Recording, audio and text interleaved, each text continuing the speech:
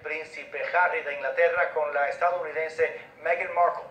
Así de felices usaron los novios a lo largo del día de hoy. Meghan con su mamá, Harry con su hermano. El enlace ha desatado una auténtica locura en las calles de Londres e incluso la gente está pasando la noche en el trayecto que mañana recorrerán los novios.